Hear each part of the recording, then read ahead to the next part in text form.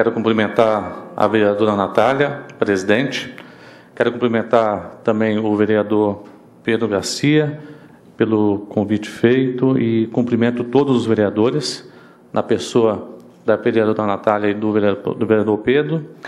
E cumprimento os demais presentes. Quero fazer uma saudação ao Maurício aqui e ao amigo, parceiro de tantas lutas, Dr. Rafael Mas dos Anjos, é, laborioso, dedicado, juiz da nossa comarca, que tanto tem feito e os números que aqui mostrou é, com o panorama do judiciário da nossa cidade demonstra o quanto já foi feito e o quanto há por fazer.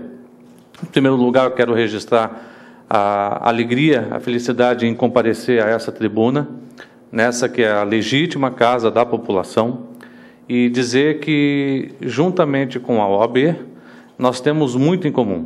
Todos nós, todas as nossas instituições têm muito em comum. E nós, quando estamos aqui, nós estamos representando a Ordem dos Advogados do Brasil, a 23ª subseção de Jaraguá do Sul, composta também pelos municípios de Corupá, Schroeder, Massaranduba desculpa, e Guaramirim. E hoje, para trazer um número, vocês tiveram bastantes números com o doutor Rafael, né? É, hoje nós somos aproximadamente, na nossa subseção, 700 advogados inscritos. Esses advogados não estão, obviamente, todos em atuação, mas são os advogados que, junto com é, as suas inscrições de regulares, de licenciados, de enfim, são mais ou menos 700 advogados.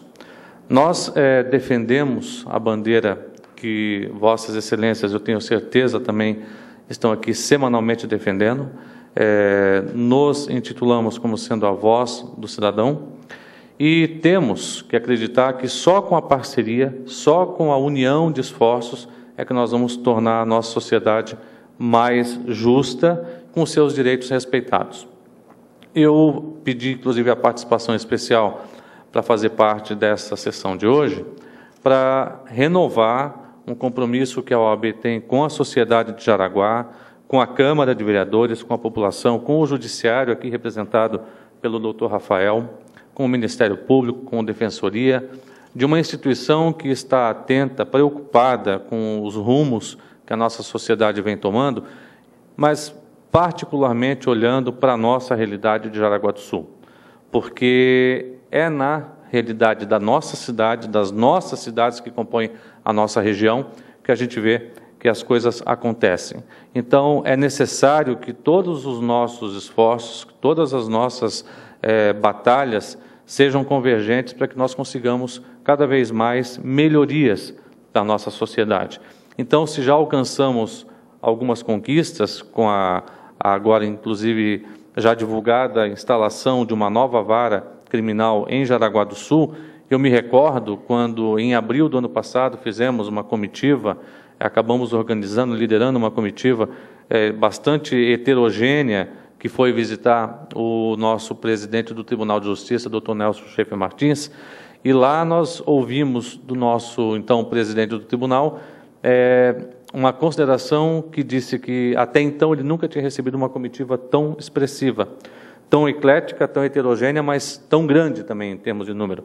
E isso demonstra o quanto que a nossa sociedade, o quanto que o nosso povo é unido e que quando se junta para fazer algo que é convergente, eu tenho certeza que consegue transformar. E as transformações acontecem. Um ano, praticamente nem um ano após, nós teremos aí a instalação dessa nossa segunda vara criminal. Então, nobres vereadores, é, sociedade, vereadora Natália, presidente do nosso querido amigo Dr. Rafael, é, nós queremos renovar. É, esse é o nosso intuito, renovar os nossos votos de parceria. Quero deixá-los plenamente à vontade, na pessoa da presidente, dizer que a OAB de Jaraguá do Sul está sempre à disposição para prestar os esclarecimentos e informações que os vereadores julgarem necessários. Somos parceiro, parceiros de conduta e parceiros de objetivos.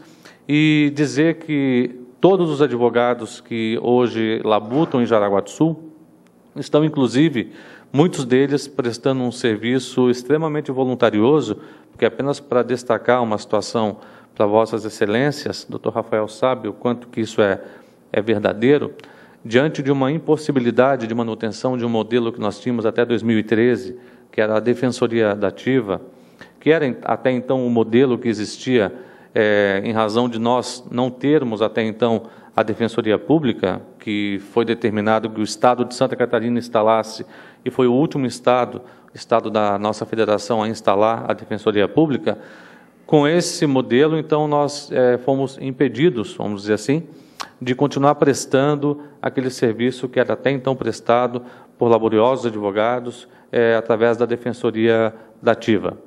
Mas a Defensoria Pública veio, também é, temos a Defensoria como parceira em todos os propósitos, e oxalá, num espaço curto de tempo, nós consigamos ainda melhorar mais a nossa atuação diante de uma parceria que poderá ser formulada com o Estado de Santa Catarina, aonde nós temos a convicção de que, embora o extremo labor que é realizado pela Defensoria Pública de Santa Catarina, mas inegavelmente não se consegue atingir a toda a massa de população que precisa de justiça, sobretudo a população carente. Então nós temos a convicção de que talvez muito em breve a OAB mais uma vez será chamada e não irá fugir da sua missão de continuar defendendo os interesses da população, sempre buscando a manutenção é, plena dos ideais de justiça. Eu agradeço o convite, é, mais uma vez registro, vereadora Natália, a satisfação em estar presente nessa casa, é, renovo os votos de parceria e colocamos à disposição toda a estrutura, todo o aparato da OAB de Jaraguá do Sul e região para prestarmos os esclarecimentos e todas as informações que os nobres vereadores entenderem de direito. Muito obrigado.